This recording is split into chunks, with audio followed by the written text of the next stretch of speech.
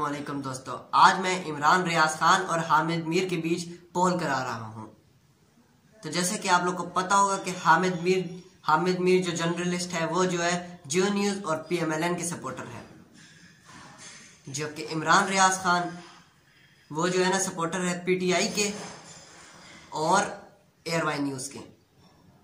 इनमें से आप जिस जर्नलिस्ट को मोहब वतन समझते हैं, उसका नेम आप लोग कमेंट बॉक्स में ज़रूर लिखे ताकि मुझे भी पता लग सके और मैं गिनती करूँ कि किसके सपोर्टर ज़्यादा है।